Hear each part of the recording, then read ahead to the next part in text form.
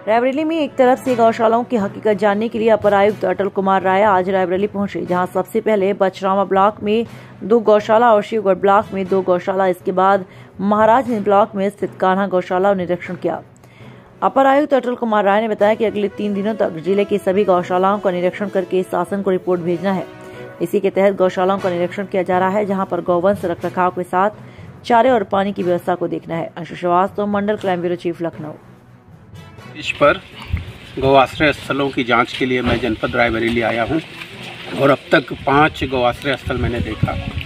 ये पहला गौआश्रय स्थल है जहाँ पर नगरी क्षेत्र का है जिसको कान्हा उपवन कहा जाता है। जी। और मैं अभी कल भी रहूँगा। तीन दिन की जाँच है तो जाँच करके और काफ़ी अभी और भ्रमण करूँगा और इसके बाद अपनी रिपोर्ट शासन को और ज़िले को प्रेषित करूँगा। महाराजगंज में कौन कौन से गौशालाओं का निरीक्षण किया गया? ये मैं अभी आप लोग अगर ज़िला मुख्यालय पर आएँगे तो डिटेल बाइट में दूँगा